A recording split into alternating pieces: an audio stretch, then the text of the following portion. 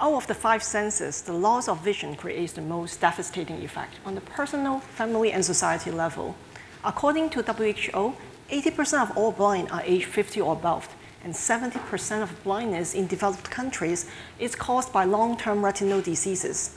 A common feature of these diseases is the overgrowth of blood vessels in the back of the eye. The dawn of anti-VEGF agents in the past decade is no short of a miracle. These protein drugs work like magic bullets to fight the unwanted blood vessels. The caveat is patients must receive monthly injections in order to maintain their vision. Once injection stops, blindness kicks in. Although inconvenient and painful, patients must consider themselves lucky if they could indeed receive injection after injection. A year of treatment on anti-VEGF will cost a hefty price tag of 12,000 US dollars. Now let's put this number in perspective. In emerging economies, such as China, Brazil, India, and Russia, the total healthcare expenditure per capita per year ranges from a few hundred to 1500 US dollars. So the current therapy, although effective, is already too expensive for developed countries and sadly is unreachable for the world's majority. However, these back of the eye diseases are far from being a rich man's problem because the aging of population that affects the developing and developed worlds alike are related with the rising prevalence of these diseases. Here uh, is some statistics. China now has more than 13 million of age-related macular degeneration patients. The number will reach 50 million by 2050. Indonesia has more than 1 million patients who suffer from diabetes-related eye diseases.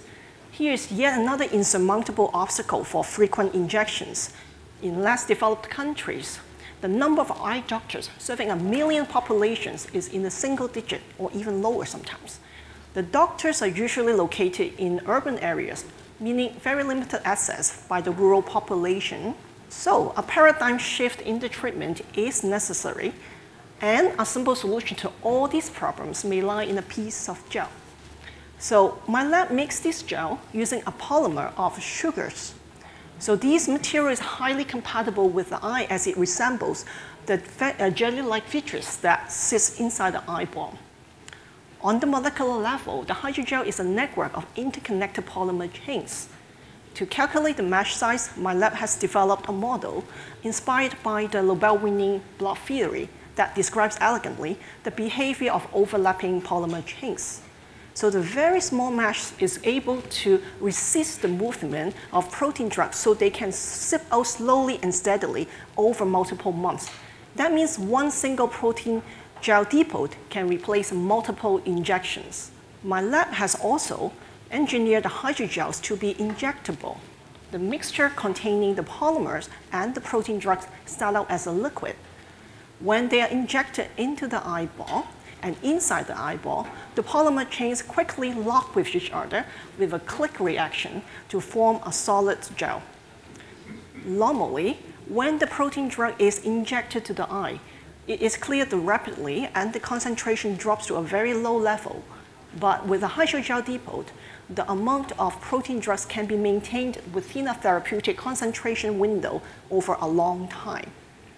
My lab has recently reported that with careful design, the hydrogel depot could indeed reduce the growth of newly formed blood vessels in the eye. These pathological features are shown in the retina picture as bright spots. So you can see that one bolus injection after a month cannot reduce the bright spots, but with the gel, it can do so even after five months. So can the long-term drug release be translated to long-term therapeutic effect? Yes, and notice the amount of protein that's packed inside the gel is the same as that given in one injection. That means less drug is being wasted on clearance, but more can stay and stay in the eye for a longer period of time.